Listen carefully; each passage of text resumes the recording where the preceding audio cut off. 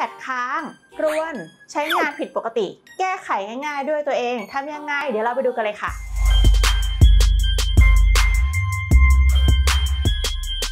สวัสดีค่ะ เมย์จากเพจ iPhone S Thailand นะคะ iPad ของเราบางครั้งใช้ใช้อยู่ก็ เฮ้ย กดไม่ไป กล้องไม่ทำงาน แบตลดไว ใช้งานบางฟังก์ชันไม่ได้ วิธีแก้ไขเบื้องต้นนะคะ ก็คือการรีเซ็ตการตั้งค่านั่นเองค่ะ หรือว่าบางครั้งนะคะ หลังจากที่เรา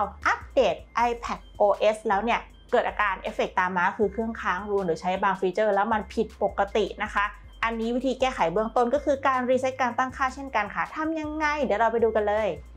วิธีการนะคะเข้าไปที่การตั้งค่าค่ะ หลังจากนั้นนะคะ เลือกที่ทั่วไปค่ะ แล้วก็เลือกที่ถ่ายโอนหรือ Reset iPad นะคะ กดเลย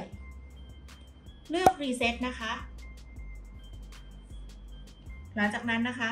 เลือก Reset การตั้งค่าทั้งหมดค่ะ ยืนยัน Reset นะคะ ยืนยัน Reset อีกครั้งหนึ่งค่ะ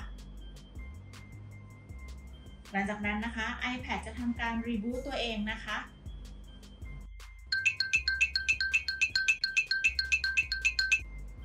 เรียบร้อยแล้วค่ะ ทำตามได้ไม่ยากเลยใช่ไหมคะสำหรับการรีเซ็ตการตั้งค่านะคะ ถ้ารีเซ็ตแล้วยังไม่หายนะคะ ให้ลอง backup ข้อมูลไว้นะคะแล้วก็ทำการ restore เครื่องนะคะ ถ้า restore แล้วดึงข้อมูลกลับมาแล้วก็ยังไม่หายตัวนี้แนะนำให้รออัปเดตอีกครั้งหนึ่งนะคะ หรือว่านำไปเช็คที่ร้านหรือว่าศูนย์บริการนะคะ ในกรณีเช่นแบบกล้องใช้ไม่ได้ Wi-Fi ไม่ได้รีเซ็ตแล้วไม่หายอันนี้อาจจะต้องนำไปเช็คเพื่อตรวจเช็คอะไหล่อีกครั้งหนึ่งนะคะ ว่าอะไหล่ได้รับความเสียหายหรือไม่ค่ะ สำหรับคลิปนี้นะคะ ก็หวังว่าจะเป็นประโยชน์กับเพื่อนๆนะคะ ฝากกดไลค์กดแชร์กด subscribe กดกระดิ่ง อย่าลืมกด favorite page ไปด้วยนะคะ เพื่อไม่พลาดทุกการอัปเดตค่ะ iPhone S Thailand มี TikTok แล้วนะ อย่าลืมไปติดตามกันด้วยนะคะ แล้วพบกันใหม่คลิปหน้าค่ะ สวัสดีค่ะ